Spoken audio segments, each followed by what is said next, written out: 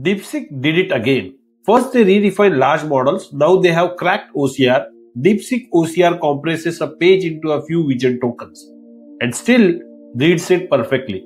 Normal OCR crawls through every letter. DeepSeek OCR skips that, it encodes the full page as compressed vision, then decodes everything in one go.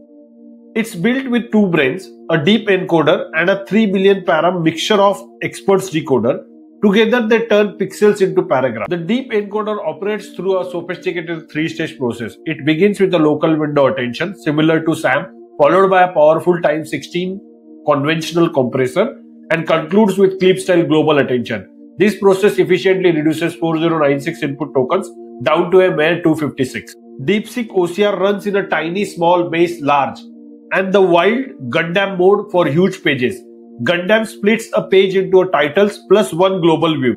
It keeps 97% precision at 10x compression and still around 60% at 20x. Faster, lighter, smarter. DeepSeek OCR doesn't just read, it understands. It parses charts to tables, chemical formulas to SMILES, and geometry to vectors, all inside one model. This isn't OCR anymore, it's optical context compression for the LLM era. DeepSeek just changed the game again. Follow A I C K studio for A I paper made simple